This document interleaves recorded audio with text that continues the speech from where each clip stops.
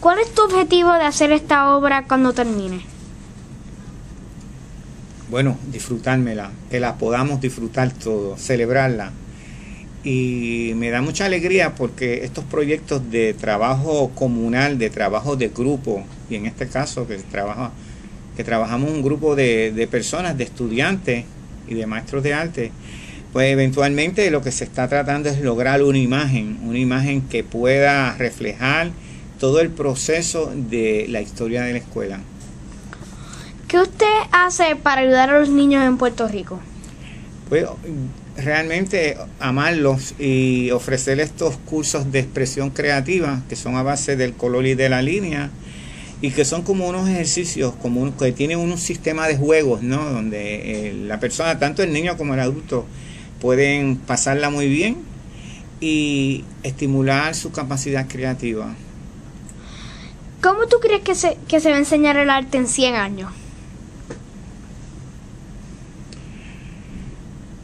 No sé decirse precisamente, pero el ser humano siempre va a tener una gran necesidad de expresión creativa.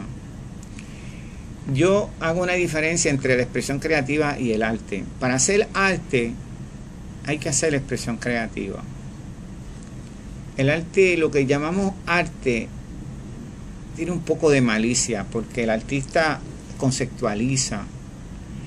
Y lo bueno de la expresión creativa es que no conceptualiza, es, se tira a la incertidumbre, es más cuántica.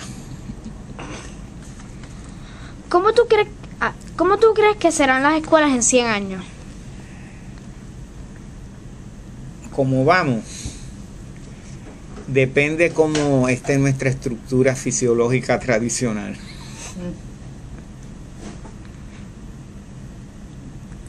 ¿Qué tú pondrías dentro de una cápsula del tiempo de una escuela? ¿Qué yo pondría? Pues yo creo que todas las escuelas deben tener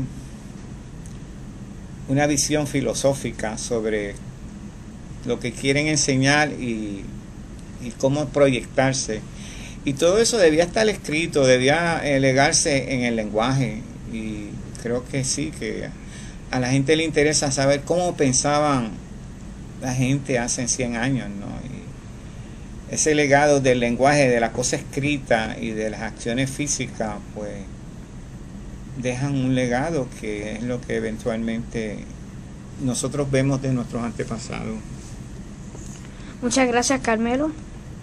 Gracias, muchas gracias tú. La verdad que eres extraordinario. Dios te bendiga.